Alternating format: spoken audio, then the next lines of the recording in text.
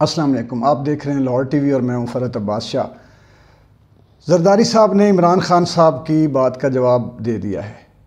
इमरान खान साहब ने उनको चैलेंज किया कि मैं जरदारी सुन लो, मैं आ रहा हूँ सिंध में। और मैं अब तुझे देख लूँगा, तुमने जिस तरह सिंध की आवाम के साथ किया मैं उनको आके रिहा कर आऊँगा कैद से निजात दिलाऊँगा, तैयार हो जाओ। ये किया दूसरा उन्होंने, उनको मीर सादिक भी कहा। तो पहले तो उन्होंने मीर सादिक की वजाहत की कि आपको पता ही नहीं है तारीख़ का और वो क्या लोग थे और उसका यहाँ पे रेलेवेंस बनती नहीं है। वो एक पिछला था और गोरों की हुकूमत थी। यहाँ तो गोरों की हुकूमत नहीं है कि कोई यहाँ से किसी नवाब से जो है वो गद्दारी करके गोरों के साथ मिल गया, ये हो गया, वो गया, वो सारा, वो इस तरह का आप गलत बयानी करें। दूसरा उन्होंने ये कहा था कि आपकी हैसियत ही कोई नहीं। आप कौन होते हैं? चैलेंज करने वाले इस तरह। तीसरा उन्होंने मियाँ नवाज़ शरीफ को हौसला दिया कि मैं कायम उदायम हूँ। मैं अपनी जगह पे आप बेफिक्र ना करें, आपकी हुकूमत मज़बूत है, कायम उदायम है और सारा कुछ अपनी जगह पे खड़ा हुआ है। लेकिन यहाँ पे एक सवाल पैदा होता है कि जरदारी साहब की चूँकि वहाँ पे सिंध में हुकूमत है और इधर पंजाब में अब मियाँ हमजा शबाज शरीफ साहब बैठे हैं, थर के लोगों का जो इस वक्त हाल है, जो क्राइसिस है, किसी को उनका ख्याल नहीं आ रहा। उनको किसके सहारे छोड़ा हुआ है? पानी वहाँ पे ख़त्म है, जानवर मर रहे हैं, लोग मर रहे हैं, आहो बका, मातम कर रहे हैं लोग। और ये आज से नहीं है, ये हर दूसरे तीसरे साल, चौथे साल जब गर्मी ज़्यादा होती है, बारिशें लेट होती हैं तो वहाँ ये मातम बरपा हो जाता है। क्या वो थर पाकिस्तान का हिस्सा नहीं है? अगर नहीं है तो फिर किसी और दूसरे मुल्क को दे दें, फिर आप कर लेंगे। यार, ये हम तो हमारे हम इनके वली वारिस नहीं हैं। इनके कोई हकूक़ नहीं है, ये आप ले जाएँ, क्योंकि यहाँ से हमें कुछ मिलता नहीं है। यहाँ कोई इंडस्ट्रियल एरिया नहीं बन सकता, यहाँ से कोई टैक्सेस बड़े नहीं आते। ये गरीब गुरबा लोग हैं, पानी कौन वहाँ पहुँचाए? कौन वहाँ पे काम करे? कौन वहाँ से कोई दरख्त भी नहीं लगते कि हम चलो अपने दरख्त लगाएँ और काट के जंगलात, काटें, फना करें और अपने काम, यानी कुछ भी फ़ायदा नहीं है तो हम वहाँ क्यों जाएँ?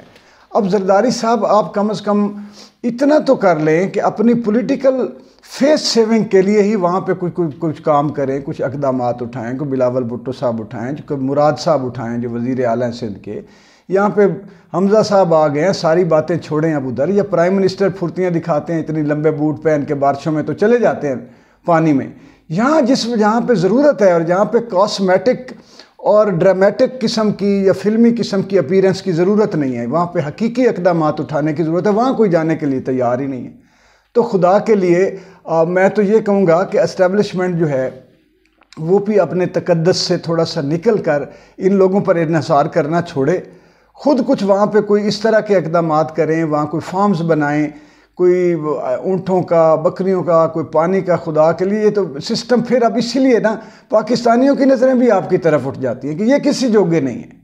ये जो है ना, इन्होंने तो ये सिर्फ़ अपने अब, जिस तरह देखे, अब खान साहब जो हैं, उनको भी इस वक्त वो ज़्यादा याद आ गया है पाकिस्तान कि जिस वक्त जो है वो इकतदार से निकले, अब उनकी आँखें खुल रही हैं कि कहाँ कहाँ गलती की कौन कौन से मैंने अपने साथी को पीछे हटाया, शुक्र है।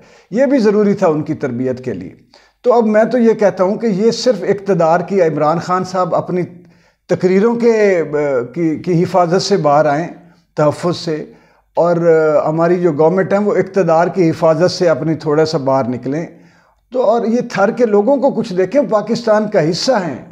मज़लूम अवाम है पाकिस्तानी हैं वो खुदा के लिए। उनके लिए कुछ यानी हकीकी इशू से हमारे यहाँ पे मैं अब अपने देखने वालों को ये एक गैर जानबदार के तौर पे बता रहा हूँ। कि पिछले चौहत्तर सालों से ये हो रहा है कि हमारे हकीकी इश्यूज़ से हमें हटा दिया जाता है और जो गैर हकीकी इश्यूज़ कॉस्मेटिक इश्यूज़ फाशिस्ट किस्म के न्यू फाशिज्म क्या है कि आपको ऐसे नारों की तरफ़ लगा दिया जाए, जिन नारों का हमारी हकीकी तरक्की, हकीकी इस्तेकाम और हकीकी बका के साथ ताल्लुक ही कोई ना उन नारों के पीछे और उन उन ख्वाबों के पीछे और उस आइडियलिज़म के पीछे लगा दिया जाए। कि जब पूरी आवाम का ध्यान और पूरी ताकत उधर लग जाए और जहाँ पे हमें ज़रूरत है, उधर किसी का ध्यान ही ना जाए, किसी का ख्याल ही ना जाए। तो इस वक्त मैं अपने मुख्तदर तबका, जो बड़े पाकिस्तानी और बड़े मज़बूत और हम ये करेंगे और हम मुहब वतन हैं और हम जनाब हम ही बचाएँगे मुल्क को, और खुदा के लिए जाओ, कुछ अपने M N As M P As को बोलो, कुछ अपने खीसे ढीले करें, वहाँ जाके कोई तो इतना बड़ा काम भी नहीं है।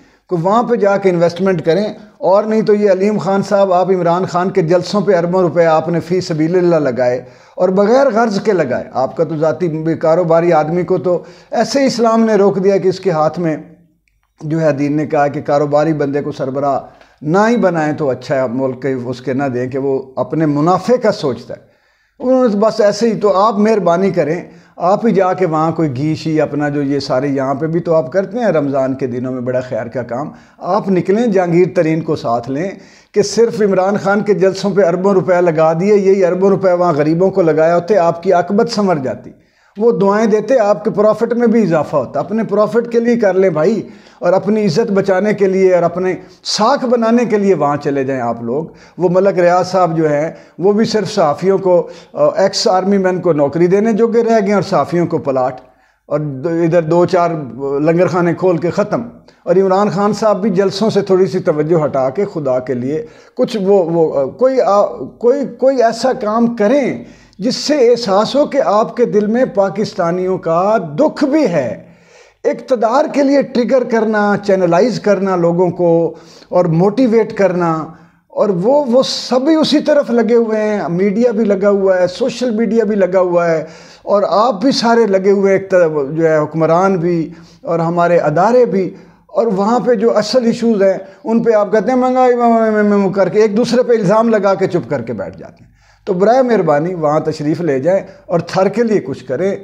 थर जो है वो इस वक्त मर रहा है। थर के लोग मर रहे हैं, थर के जानवर मर रहे हैं। और मीडिया जो है वो मुजरमाना खामोशी इख्तियार की हुई वो तो कभी असल इश्यूज़ की तरफ़ तो आने ही नहीं ना देता। उनका तो काम ही ये है। ये एंकर्स हमारे जितने बैठे हुए हैं, ये सारे दानश्वर हैं इसी बात के कि लोगों की तवज्जो असल इशूज़ से हटा के नान इशूज़ की तरफ़ लगानी है, जिनसे हमारा वास्ता ही कोई नहीं। सिर्फ़ जहनी तौर पर हमें डिस्टर्ब करने के लिए और नफसियाती मरीज़ बनाने के लिए ये प्रोग्राम करते हैं। बहुत शुक्रिया। इजाज़त दीजिए। हमारी वीडियो शेयर करें। लाहौर टीवी को सब्सक्राइब भी करें।